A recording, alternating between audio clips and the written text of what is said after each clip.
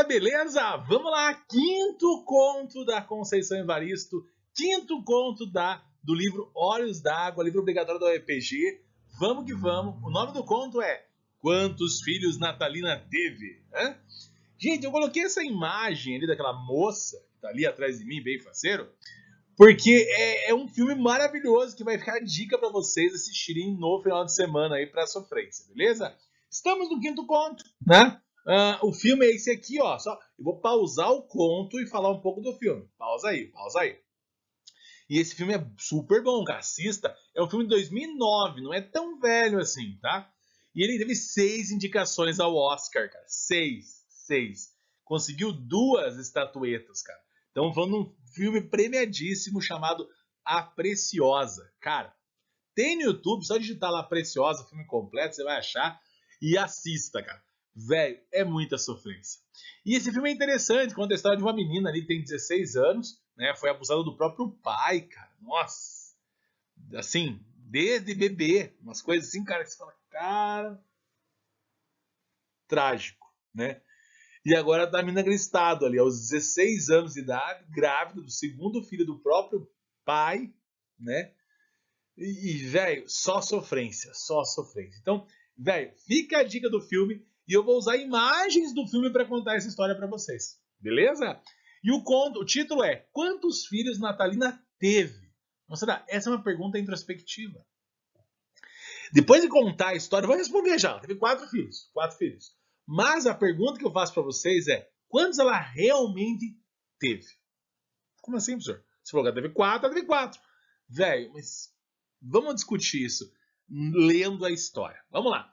Primeiro filho. Então, assim, o conto, ele vai mostrando o primeiro, depois o terceiro, depois o segundo. É meio misturadão, assim. Eu separei bonitinho como foi o primeiro filho, como foi o segundo, como foi...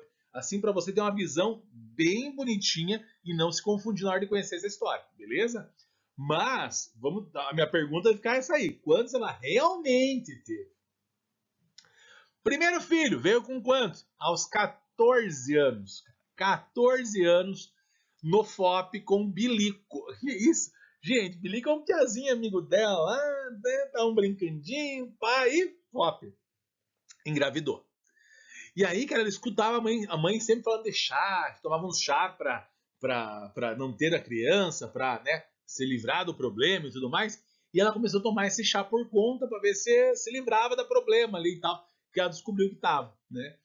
Então, cara, foi conversar com a mãe. A mãe surtou, cara. A mãe falou assim: o que, menina? Você tá louca? Nossa casa já tem eu, meu marido, sete crianças e você agora vai ter mais uma criança. Que absurdo, pá. Então, tipo, cara, a mãe pirou, a mãe surtou, mandou tomar um monte de chá lá pra ver se, né? E não adiantou, cara. Não parava de vir a barriga. Então a solução vai ser quem? Saprachedes. Cara, quem é Saprachedes? É uma mulher que fazia um abortos clandestinos, cara. E aí, cara, ela falou assim: vamos lá que a Saprachedes ela vai resolver teu problema. Pegou a menina pelo braço, levou. Lá tinha uma fila para ser atendida por essa Saprachedes. E, cara, as mulheres, algumas mulheres entravam com a barrigona e tal e saía sem nada. Então surgiu até uma lenda para as crianças. E lembre que, que a menina tem 14 anos, cara. Então é pequenininha ainda, se for pensar. E ela, cara, escutou, ela escutou, Desde criança ela sabia que essa Saprachetes comia criança, ela comia criança, que a mulher chegava grávida e saía sem nada. Então o que aconteceu? Ela come criança, come criança. Então, desde pequena, se você fizer isso, a Saprachetes vai ter que comer, sabe? Então ela tinha um medo dessa Saprachetes, tão medo, que na fila, quando ela viu que estava quase na vez dela, ela largou a, mãe da, a mão da mãe e tchum, saiu correndo.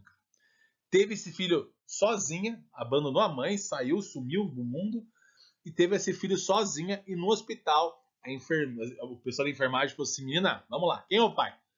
Ah, o pai não sabe que tô grávida. Tá, diz a mãe. Meus pais não, não sabem de nada, não, não, existe. Tá, mas como é que você, você trabalha? Não. Mas e como é que você vai sustentar essa criança? Tá louco? Conversaram com a menina e resolveu fazer o quê? Ela resolveu doar a criança para uma enfermeira. Então a primeira criança foi tipo assim, ó, ganhei uma boneca de brinquedo e não gostei. Ela olhou a criança, era cara do bilico, mas não é meu, não quero e, e tal. Entregou para a enfermeira e saiu do hospital leve. Há muitos anos depois, uns dois, mais ou menos um, um ano, dois anos aí, ó, ela estava mais experiente, já, já sabia mais esquema, já começou a ter outros FOP e tudo mais, e sempre já sentiu um sintominha diferenciado, já chá, chá, chá, chá, e tref, né? E se livrava do problema e tudo mais. Só que agora, velho, ela olhou no espelho e tava com a barriguinha meio saliente. Ah, então ela falou pro Tonho, novo companheiro dela ali, falou assim: Tonho, tô grávida. Tomei chá, chá, chá e tô grávida, não tem jeito. Cara, o Tonho ficou tão feliz, cara. O Tonho falou assim: que menina, é tudo que eu quero. Eu quero isso aí, ó, barraco, uma mulher, vários filhos. Que bênção, cara. Você vai, vai me gerar muitos filhos, vou morar nesse barraco, papapá. Então o Tonho ficou super feliz, cara. Só que ela não queria ficar com o Tonho. Ela falou assim, cara, não quero. Não quero. Mas como não, menina? Não, não quero. Não quero empreender a ninguém agora. Não quero. Resumindo, ela teve o filho e mandou embora, junto com o Tonho, junto com as coisas, e sumiu da vida. Falou assim: ó, eu não quero casar, não quero ter filho, não quero nada. Vê aí essa tragédia. Ó, então, Tonho, tá, seguiria? Então assuma. Tô indo, fui. E ela abandonou. Terceiro filho. Gente, ela achou um trabalho numa casa de uma família, uma família rica, né? E essa família passava muito tempo viajando, nem parava em casa. Então ela limpava a casa, tudo mais, não tinha ninguém, ela meio que se sentia dona da própria casa. Ela ficava ali e tal, beleza? Esse casal viajava muito, eles não tinham filhos, viajavam bastante e tal, tal, tal. Só que eles tinham um problema, esse casal, os patrões deles ali. É, a, a, mulher não conseguia engravidar. Ela engravidava perdia, engravidava perdia. Engravidava. Ela já, já pegou as manhãs, né? O que aconteceu? Chegaram para ela e falaram assim: menina, seguinte. Eu não consigo engravidar. Meu sonho é ser mãe. Tá? Então eu quero que você faça a FOP com meu marido. Hum?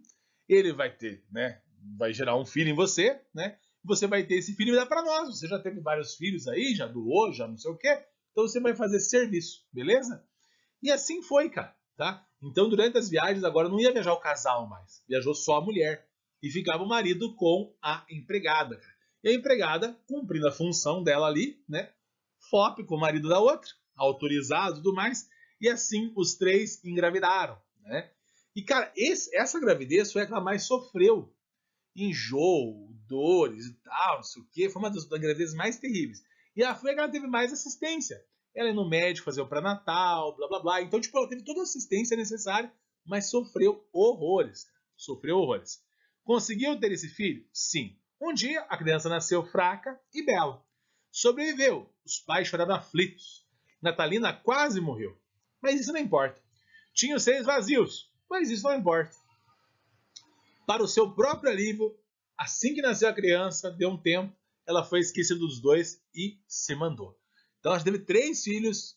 Vamos lembrar, primeiro, né, uh, doou para a enfermeira. O segundo, mandou embora com o Tonho, era uma dívida com o Tonho, né, né? O Tonho queria. E o terceiro, ela serviu de barriga de aluguel, cara. Tá? Quarto filho, então ela resolveu voltar para casa dos pais agora, né? Sem filhos, sem nada, tudo mais. Voltou. Chegando lá, velho, o, o, irmão tava com uma dívida de drogas, um negócio assim e tal, beleza? E uns caras foram da casa do irmão e sequestraram essa menina, cara. Lembre-se, é uma adolescente ainda, né? E sequestraram a Natalina? Sim.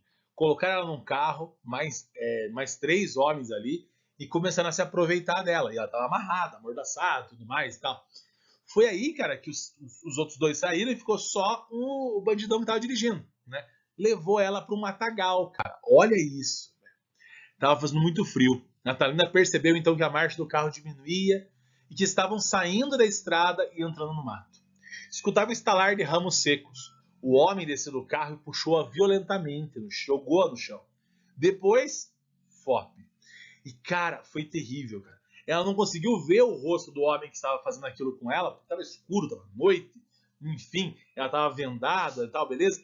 Depois, cara, o cara, depois que ele fez o FOP, ele caiu adormecido ao lado dela. Ela foi se levantar ali pegando as roupas e tal, e encostou numa arma. O que, que ela fez? Pegou essa arma aí, pá, acabou com o bandido. Pronto. O movimento foi rápido, o tiro foi certeiro. E assim, Natalina se livrou do problema. Só que ela matou um bandidão, né, cara? Vão atrás dela? Vão. O que ela resolveu fazer? Sumir novamente. Só que nessa vez que ela sumiu, dentro dela, ela tinha a semente invasora daquele homem. Não, sim. Poucos meses depois, Natalina estava grávida, mas estava feliz. Esse filho que ia nascer era algo que ela desejava, porque não era um filho obrigado para pagar aluguel, não era um filho da descoberta da inocência, não era um filho que era exigência do Tonho, do não sei quem queria que ela tivesse. Esse foi um filho que ela, ela ia ter sozinha. Saprachedes nem sairia desse filho. Saprachedes nem pegaria esse filho. E aí, nos limites da vida, nos limites da morte, né? Ela concebeu esse filho. Quantos filhos ela realmente teve? Não sei. O que eu sei é que gravidez na adolescência, cara, é algo muito real. E usar quantos filhos a Natalina teve como repertório, cara, é fantástico, beleza? A média do Brasil aí, ó, essa estatística aqui é de 2005 a 2015, né? Esse aqui foi um tema de redação e mostra que no Brasil a taxa de gravidez na adolescência é de 20%. Cara, olha quantas vezes engravidam assim para pagar uma dívida, engravidam para descoberta, tomam chá, não sabem, não têm educação sexual no, no colégio, enfim, na família, e acabam engravidando e dá para um filho, toma esse aqui para lá, e clínicas abortivas, e tudo isso é uma realidade do nosso povo. E a, a, a Conceição Evaristo usou isso como um conto trágico e maravilhoso. Beleza? Falou, moçada. Valeu e até!